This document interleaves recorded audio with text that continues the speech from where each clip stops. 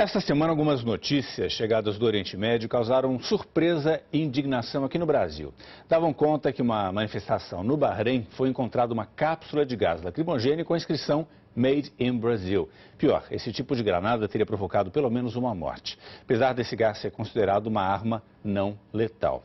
Bom, forte boa noite. Bom, muita gente não sabe, inclusive critica os outros países, mas o Brasil faz parte de um grupo de países exportadores uh, de material bélico que movimenta muito dinheiro e que também é muito criticado.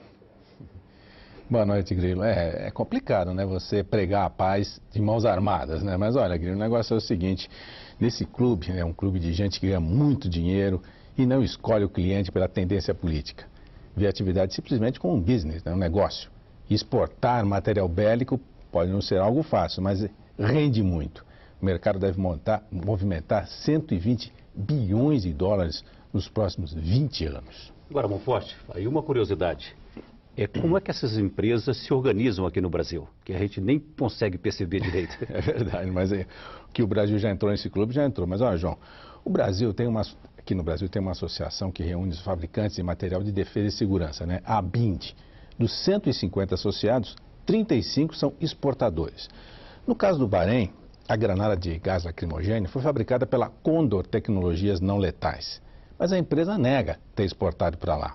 O mais provável é que foi feita a exportação para um país da região que repassou para o Brasil, o que é, aliás, proibido pelas regras internacionais. Ou então as próprias forças do país estrangeiro foram usadas no Bahrein. Tudo isso no campo das suposições, já que é vedado divulgar a lista dos países que compram material bélico do Brasil. Sabe-se apenas que exportamos para a Europa, para o Oriente Médio, para a África, para a Ásia e para os Estados Unidos. Quem faz a triagem é o Itamaraty, que veta a exportação para países em guerra civil. As vendas incluem granadas de vários tipos, munições, armas de lançamento não letais, spray de pimenta, paraquedas, coletes à prova de bala ainda há uma parceria com a sul-africana Daniel para a produção de um míssil. A própria presidente Dilma vem estimulando os investimentos nessa área da segurança. Ou seja, o Brasil entrou de cabeça nesse rico mercado de guerra como várias outras democracias também, né? procurando lucrar, aparentemente, sem maiores impedimentos morais. Ainda que isso custe o constrangimento de ver o nome do país né, exposto em manifestações de repressão social, como foi o caso de Manama, lá na capital do Bahrein, né, João? Caso Forte, muito obrigado.